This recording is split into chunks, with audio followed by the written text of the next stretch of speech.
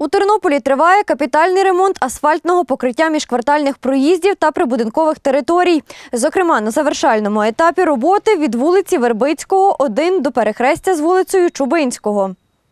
На даний час завершені роботи по капітальному ремонту проїжджої частини, виставлені бордюри.